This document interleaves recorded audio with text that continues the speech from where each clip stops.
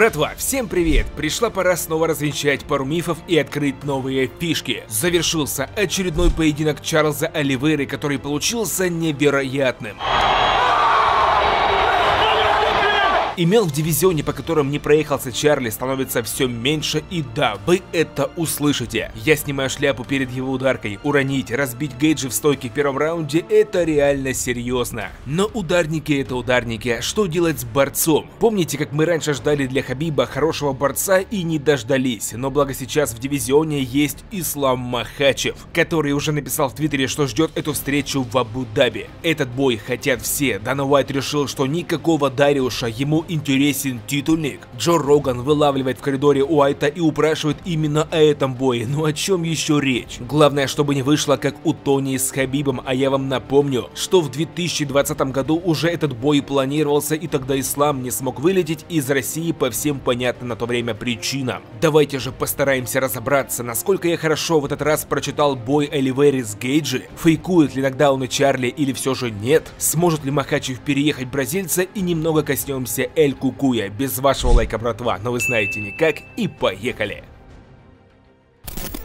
А уже утром 15 мая бывший чемпион Ян Блахович выйдет биться с молодым, мощнейшим проспектом из Австрии Александром Ракичем. Мои партнеры из Парибет видят Блаховича здесь андердогом, кайф на его победу 2,3, когда коэффициент на победу Ракича 1,6, что мне кажется очень справедливо.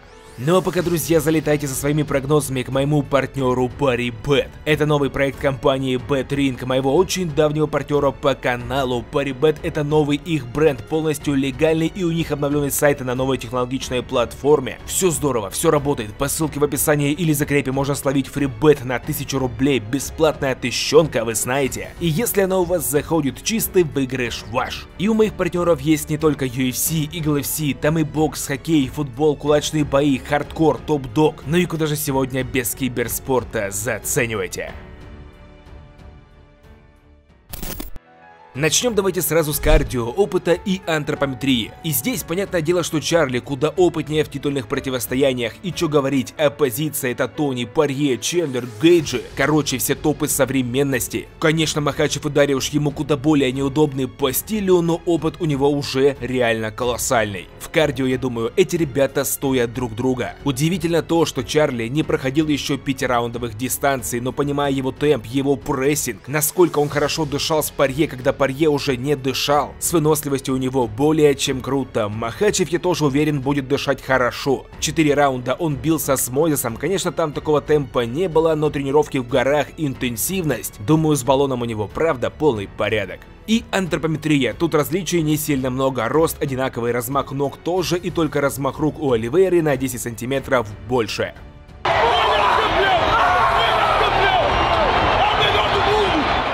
Далее поехали ударная техника, уж очень хочется поговорить про нее. В очередной раз прошел бой Оливейры и в очередной раз он падает в нокдауны, причем снова часто, два раза за раунд это часто. В бою с Парье я выдвигал теорию, что Оливейра делает это специально, но я не говорил, что там потрясений не было вообще. Я говорил, что когда Оливейра пропускает тяжелую банку, он понимает, лучше ему прилечь. Смотрите, скорее всего, твой соперник тебе не полезет на канвас и ты просто отдохнешь и восстановишься. А если полезет как Чендлер, ты его свяжешь и можешь сабнуть. А вот если ты потрясенный, останешься в стойке, то уже есть вероятность уснуть наглухо. Вот потрясение, ну или вот, ну на крайняк вот, а не вот это. Я хочу, чтобы вы это поняли, каждый спасается как может. Кто-то в клинче, кто-то прыгает его ноги, кто-то дальше рубится на пофиг, а Оливера у нас ложится на спину, и так делают многие джитсеры, присмотритесь. Но знаете, что меня удивило? Первым же ударом Чарли на первых секундах потрясает Джастина. Как вам такое? Я сразу офигел. В телеграм-аккаунте я написал, мол, классика, Гейджи опять собирает все удары лицом, а Оливера падает на канвас. Джастин реально собирал все, что в него летело, намереваясь просто перерубить. И, кстати, заметили, как он не лез, не спешил в партер, когда ронял? Это мы обсуждали на днях в прогнозе. И вот сейчас мы можем понять, насколько Парье был в стойке хорош против Чарли и как же неважно смотрелся сегодня Джастин.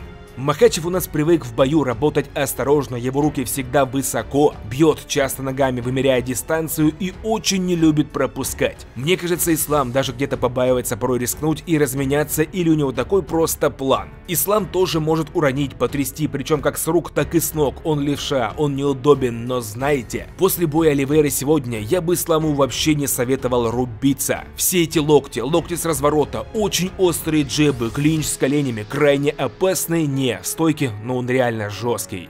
Оливейра побил всех самых жестких ударников, последнего съел в стойке в его же стихии, и называть теперь это лаки-панчем как с Чендлером язык у меня не повернется. И по итогу в ударке я думаю 70 на 30 в пользу Чарли.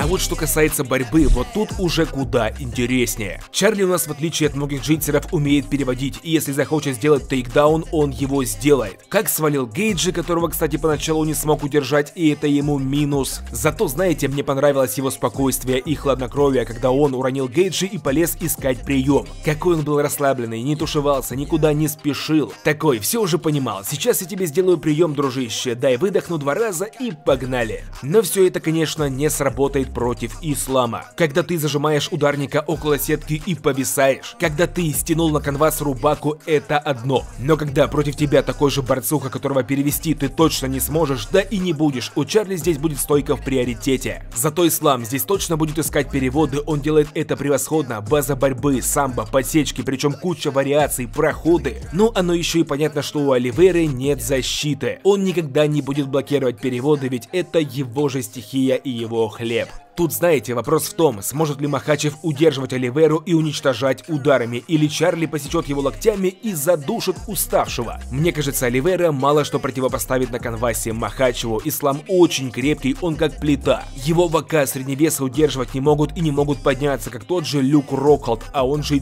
сильный. Я почему-то здесь вижу одностороннюю борьбу в лучших традициях Хабиба. Только контроль и только удары. Все эти фишки джитсеров команда Хабиба знает просто идеально десяток лет тренировок в Америке с джитсерами и боев с бразильцами, плюс Макачев уже удерживал джитсеров на канвасе и попаснее тот же Дэви Рамос. Он-то по регалиям в 15 раз круче Оливеры и с этим не поспорить. Поэтому, друзья, партер здесь 80 на 20.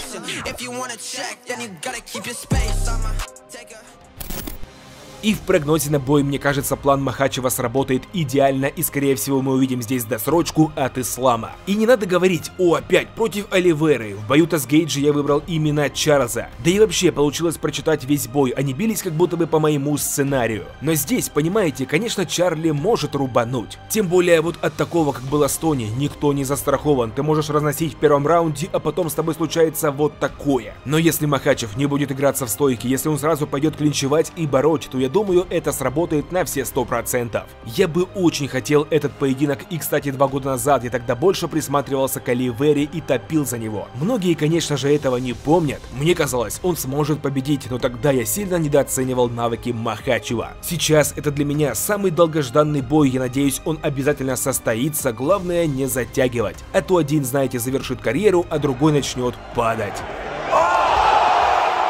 И кстати, по поводу Тони, многие его уже списали, говорят, ну что, дед, урон накопился и уже засыпает наглухо. Но поймите правильно, первый раунд он забрал, а во втором пропустил то, что даже Чендлер не ожидал. Майкл сказал, что он бил ногой просто так, в потоке действий, в потоке мыслей, накидывал удары и даже не думал, что попадет. Даже не рассчитывал, так говорит, дистанцию вымерял немножко. Ну и увидел небольшую брешь в обороне, думаю, дай попробую махну ногой. А он-то ногами в голову вообще не бьет, бам, и тут зашло. Я, конечно, не знаю, что у Тони сейчас на душе, ему максимально, наверное, дерьмово, но первый раунд мне дал надежды.